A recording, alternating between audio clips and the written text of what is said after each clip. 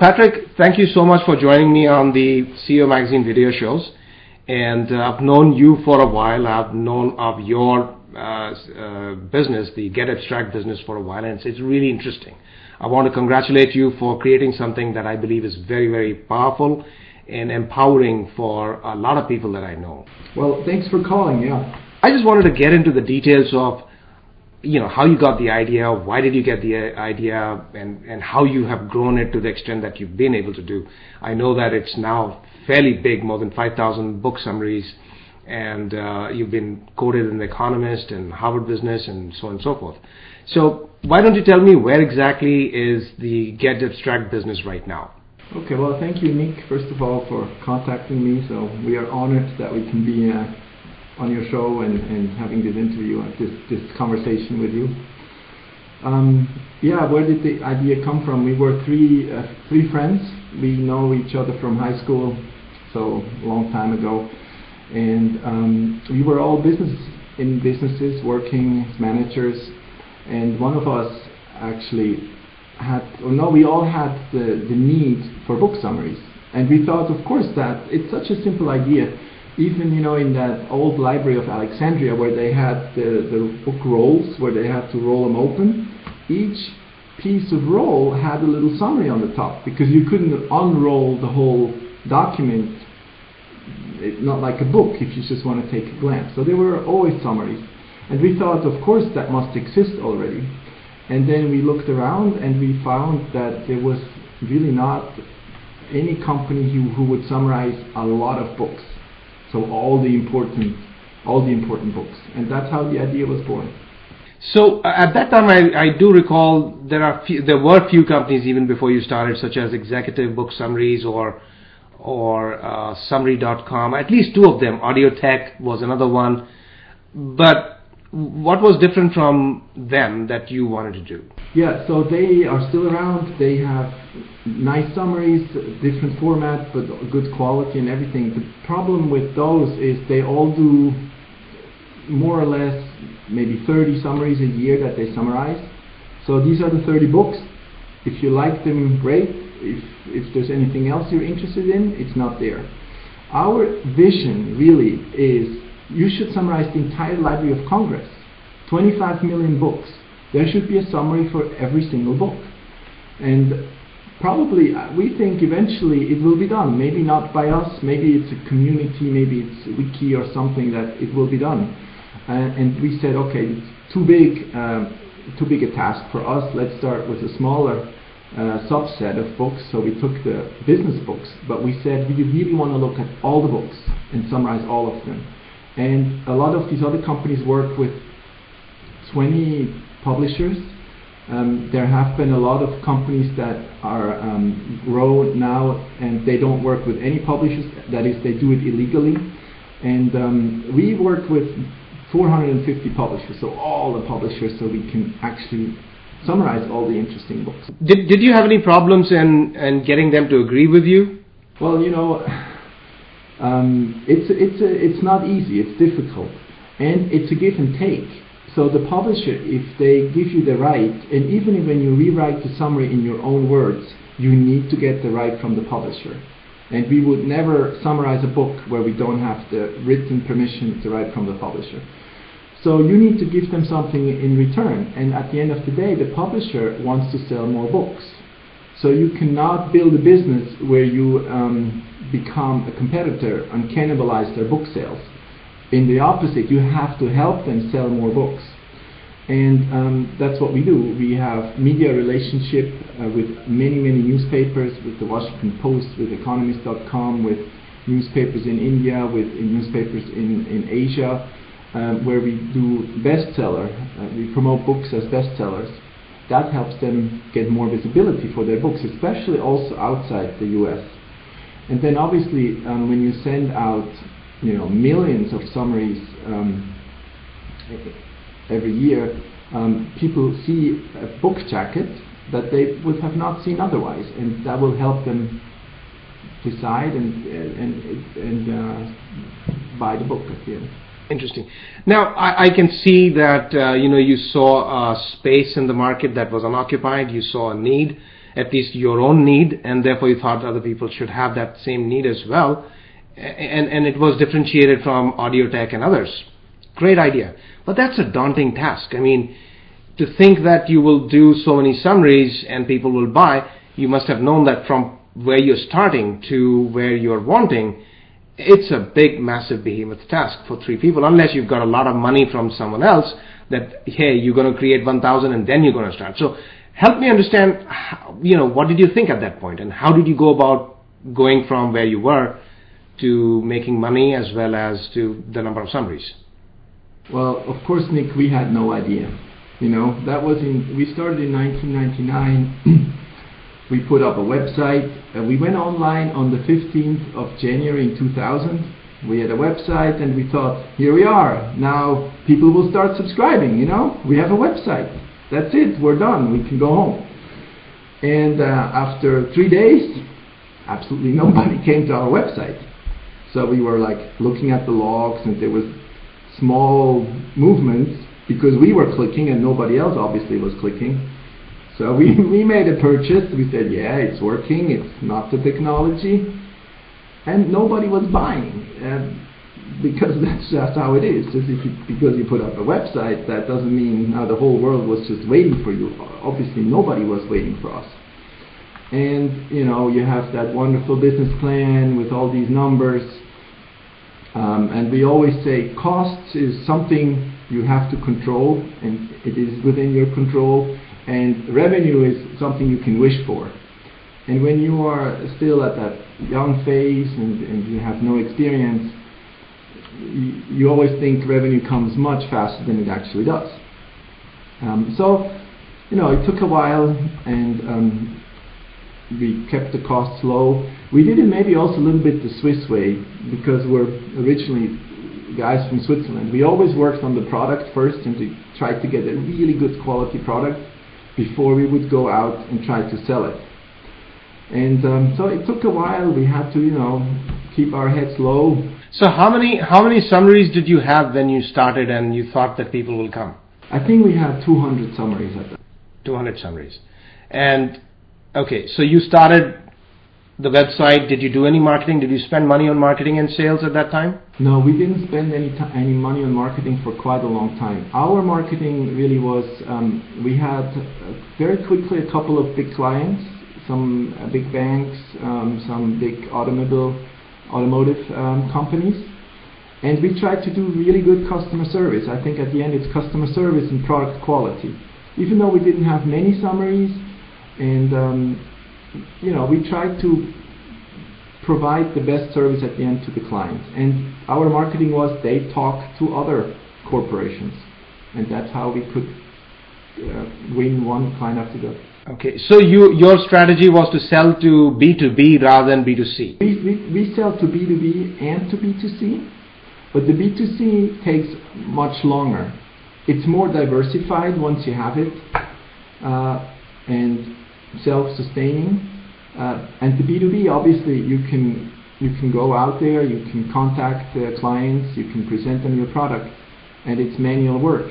Um, and that's how we started uh, at the beginning. So you got a big client, uh, like a big corporation that buys a bulk number of subscriptions? Exactly. Um, clients either buy a certain number of licenses for their executives, for their um, hypos, um, for the new learners, and eventually, when they see the value, um, they they buy usually for the entire company. And and uh, in those situations, whom did you sell it to?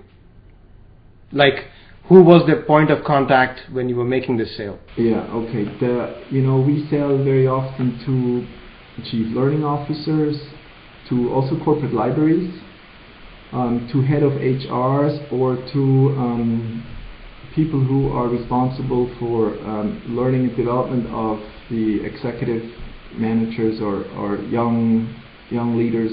Okay, so when you when you went the B two B route, um, was there an inflection point? Like you know, after five six sales, all of a sudden things picked up.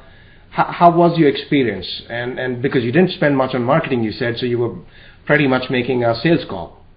How, did how was that experience and how did it go about? You know, I think our experience is that you have to grow organically. Um, I, you know, if you take 100 companies or 1,000 companies or 10,000, you have one Google in there, you have one Facebook in there, um, which grow exponentially. And everybody would like to have that, obviously. And um, uh, the other 990 probably you don't see anymore after a couple of years, and you never hear of them. And the other nine, those are the companies who grow steadily, continuously, organically, healthy, and that's the, the way we took. And, and so it was it, it, there wasn't it was steady work you know you have to improve your product you have to improve um, your communication uh, um, tools and you get one client after the other. And as I said if you have good customer service they talk to each other and then you get references back from from new clients. And did you have to borrow money? Um, we had at the beginning yes we had a, a business angel in Switzerland.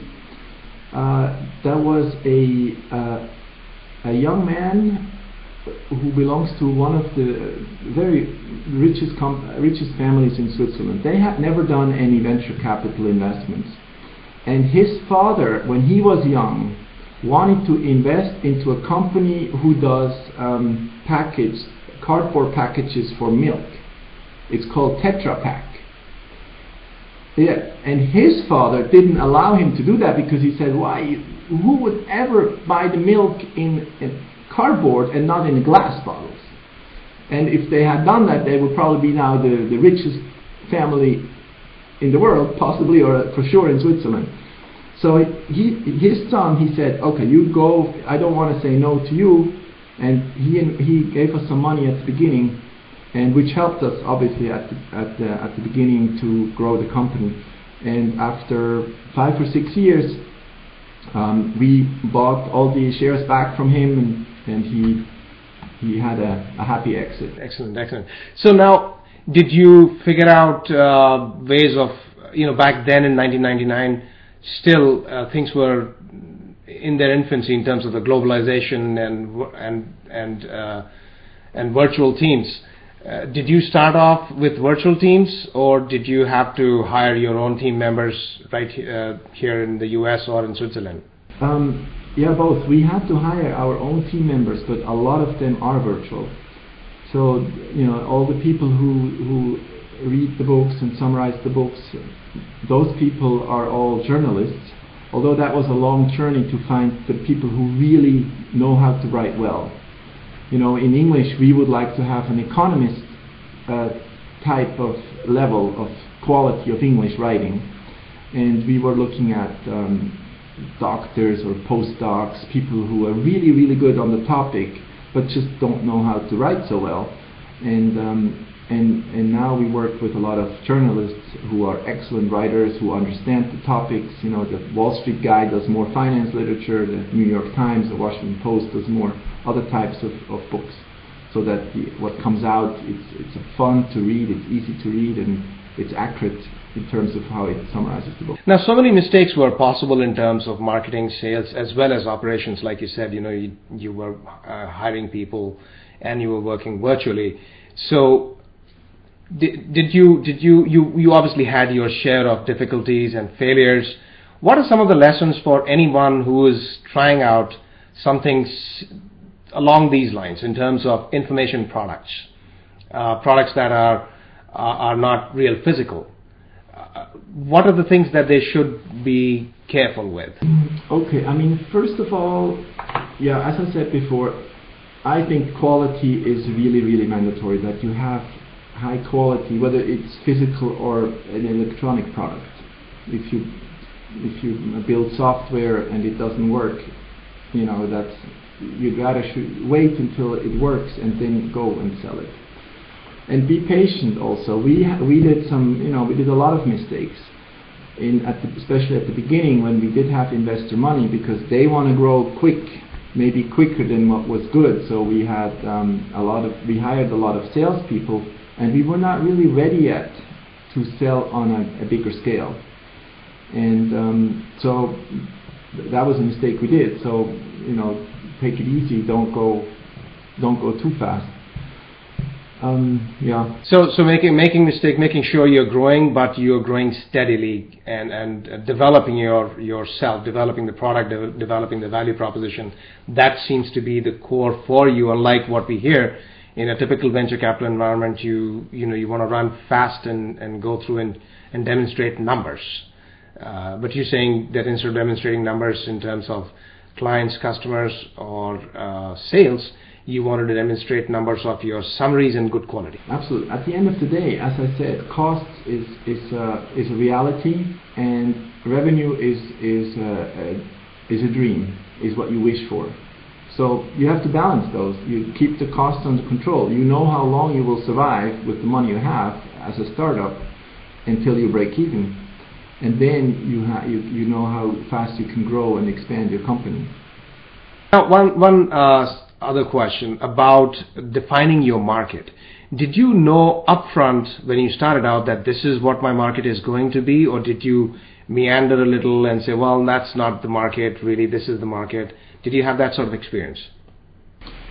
Um, our market is really everybody. You know, we, I haven't met a single person who says, "Hey, we summarize business books," who says that's a bad idea. Everybody likes it. Um, however, also everybody, every company has been able to do good business until now without that product. So, you know, when you sell a firewall, everybody needs a firewall in their company. You don't have to explain why you would need a firewall. You just have to explain why your firewall is the best one. Um, so we need, we have to explain. We still have to explain why, when you buy this product, you will have a better company, more efficient um, employees, um, more engaged employees? How can you develop your informal learning? And um, so that's how we what we tried, and we because we tried maybe too big a market also, and it, yeah, it's still we still we still don't have the special niche really of people that we try to target. Um, so, but but you still went after the B two B space. You went after the larger uh, clients. Uh, did, but did you think before when you started that maybe I'll just open the website and therefore uh, the end user will buy a product? Or did, is that how you started? Yeah, actually, we, our, our goal was to go for, for higher exit executives, for top managers, because we said, you know, they not, they don't have enough time. They don't have enough time, but they need to know what's written in these business books. And uh, as it turns out, a CFO, he doesn't want to read mainstream uh, finance books because he already knows all that stuff. But it's people, um, we have a lot of people who never did an MBA who are maybe working in a tech company, but they grow, maybe they have to lead a small team of a couple of people, and they are very interested in reading, well, what does Six Sigma mean? Um, what, what, how do I do a 360 feedback and stuff like that? So these were people that we didn't think they would be interested in, in reading these summaries, and we discovered, yeah, they were actually not just the top uh, top level executives, but a lot of um, other people as well, other employees who are who like to read short summaries. So I, I understand because it's it's you know it is not driven by uh, definable characteristics that okay large corporation director level person more likely to buy smaller corporation VP level person not likely to buy. None of those things really work in this situation, I can understand. Because mostly it's driven by personal characteristics. There may be a student who would probably want to buy and figure out a way to scrap up that kind of money and, and, and purchase the uh, services because that person has the desire to learn. Same way, we would, we would expect a senior executive to have that desire to learn, and you can't identify that desire. So therefore, you say the market is everybody, but you still had to say what's my defined market that I can go after so that I can generate the revenue that I need. And it seems like at some point you decided that you're going to go after big corporations. Uh, can you help me l- understand a little bit more that thought process? Yeah, absolutely. So at the beginning, being in Switzerland, we had some contacts, obviously, to some of the banks. So you know, the, the two big banks in Switzerland um, became customers, and um, those were some of the first first clients that we had. And then we had some connections to consulting companies, where basically all two of the big four became our clients at the, at the very early stage. And um, so that that kept on being our focus at the beginning, especially, let's try to go for financial financial corporation and also consulting companies. So, last question: How do you describe your market uh, between these three? Large corporations, small startup, mid-sized companies, and individual customers. What is the market share? Um, you know, the, the, the B2C client is growing, maybe makes up a third of our of our clients, and um, the the B2B market, um, yeah, the, the other half. The the, the mid-size is a segment um, that is growing more now. It's more a segment that you would like to get that they uh, hear about you through uh, branding, marketing activities, and they come to your website and sign up by themselves. Um, and once they are a client, then obviously you offer them services from, we have learning consultants within our uh, offices who help clients decide what books are best for their employees, what books are best for their specific needs that they have in the company. Uh, so all the corporate clients will have access to those resources and um, so the mid-sized ones, we wait until they come to us. The really big ones, we go proactively and ask them if we can show them what we could do for them. Wonderful. One last question. Where do you go from here? Do you stay focused on summaries or do you go into newer services and newer sources of revenue? You know, we started with book summaries because, our, you know, um, we, we think because we summarize, there's so much knowledge in those books, and you don't have time, you don't know about the book, and it's it's lost, lost knowledge. And we we think that by providing the this condensed, compressed knowledge, we help just a little bit uh, people, helping them making better decisions and, and make this a little bit of a better world. Now, the good knowledge is not only in books it's also in on the web, in articles, in, in magazines, in videos. And we are now, as next step, expanding and trying to get not only knowledge from books, but also from other resources. And now that you ask, you know, we have uh, just signed an agreement with TED, you know, the, the TED videos, the TED Talks, which are great, great, very, very interesting information you know, the books is more the past until now because it takes one, two, three years until the book is done. So the author of a book explains what he has learned, uh, best practices, so you can apply them today and make better decisions. TED Talks is more like crazy guys and innovative and from today looking into the future, what's going to happen in five years and ten years. So um, we launched uh, that new product where we summarize TED videos. It, we launched it actually 1st of August, just uh, one week ago. Um, so all, the, all our uh, uh individual subscribers, they, uh, they can access now not only summaries from the books, but also summaries of those videos. These are only two pages because the video is 18 minutes, and um, we um, you can now, in two pages, you see what is it all about. Then we provide a link that goes directly to the video. So that's one extension, and the other is, as I said, um, we like to summarize reports, and we we have an agreement with the Economist, where the Economist helps us curate. We are not the experts on um, on finance reports, and here we are. We are again we're focusing on finance reports. There are, you know, reports from the World Bank, from the People Bank of China, from the European Central Bank. Some reports are 50 pages, some are 200 pages, and you don't. I mean, you don't have time to read them. So we, the Economist helps us find those best reports, and we again we summarize them on two or on five pages. So that's really uh, where we're moving into right now as the next step.